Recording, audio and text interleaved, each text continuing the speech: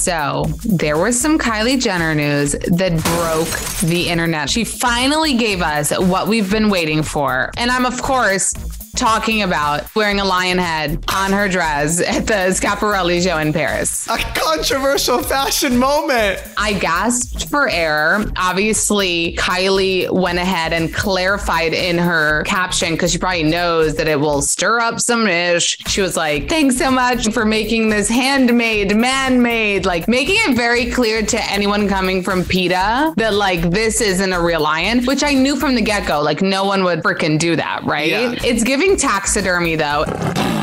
A lot of people are saying it's like trophy hunting. Maybe it's just the Nebraska boy in me. When I saw this dress, I was not like, oh my god, an animal head, like gagged. Like, obviously, Kylie Jenner's not a dumb bitch. Like, she's not gonna wear a real lion head. Okay, I just want to say, Colt, that I did a poll and like 10% of people agree with you, and 90% of people are like, what the hell is that look? If you're gonna wear a lion's roaring head on your shoulder, you know this is the opposite of inconspicuous. Like, this is like, look at me, write about me. Like, I don't even know how she could walk with a straight face. There's a video of her trying to take a selfie, but she can't because she has a lion.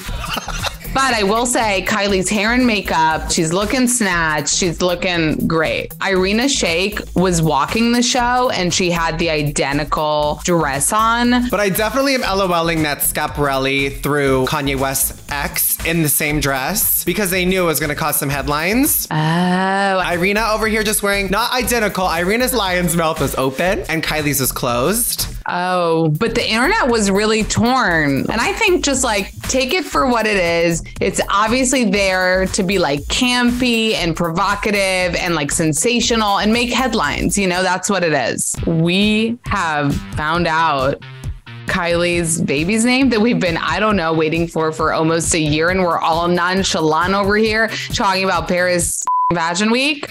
Right? Well, th- that's the thing. Y'all have been waiting for over a year. Kylie Jenner told me the name months ago. Okay. I mean, what did she mean when she just did this? There was just air in my ear. The baby's name is Aire. The baby's name is Aire. Rewind. Kylie randomly last week dropped her baby name in a few carousel slides. They were very normy looking pictures, which I appreciated. There were no violins,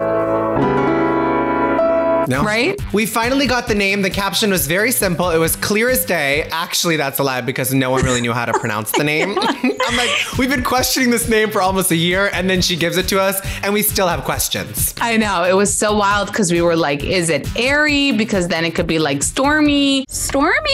Airy baby. But you know what she did? Colt, she clarified. Kylie commented, "It's air, heart." TikTok is going crazy. They are. People are saying that it means penis in Arabic. I mean, I dated an Arabic guy and he never once told me that. And I think I would have known. so uh, this is news to me. Well, a source told E News that it does stand for Lion of God. I speak Hebrew. It literally doesn't mean that. Who's the source? A lion is Aryeh, but it really doesn't mean air doesn't mean lion in, in Hebrew. Google it. It doesn't. If anyone finds proof, DM me. I mean, I think you need to take a breath of air and chill out because this is what Kylie Jenner is telling us. And that is what we are going to believe. Okay. It's so confusing, I to be honest am feeling lots of feelings right now, but I'm also on the first day of my period. So, Is that why you're wearing red? yeah.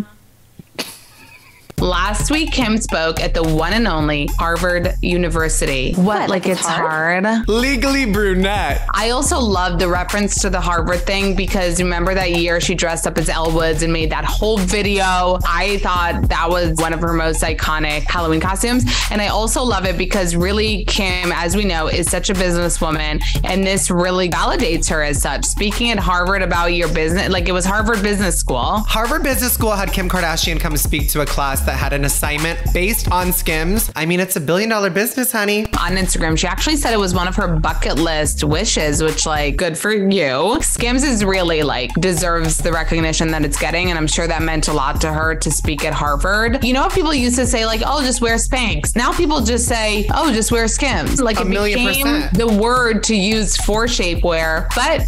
As always, people were hating and even tweeting things like, she can't even spell Harvard, which is like, This is what pisses me the F off. And I know everyone says I ride the Kardashians, but there's nothing wrong with riding, by the way. Can we just like never let these girls have the moments for us? Like, let's just let the fans enjoy. She's a billionaire. Her business is epic. Like, she really is changing the game. She's a marketing genius. And I love that when Kim was at Harvard, she was spotted with cameras because that means we are going to get to see this on the show. The question is, what season? Because we know watching the show, the Kardashians timeline is completely effed up.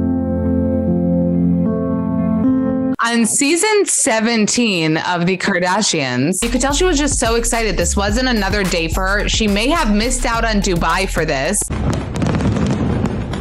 So obviously, this means a lot to her because you could call her a reality star, an influencer, whatever, and she'll take it. But at the end of the day, she really, you know, wants to be known and values herself as a businesswoman. So to have Harvard value you as such must feel so good. Okay, so what are your thoughts about Kylie's fashion statements and her baby's name? Let us know in the comments below. And make sure to check out all of our past recaps in case you missed them. And don't forget to subscribe.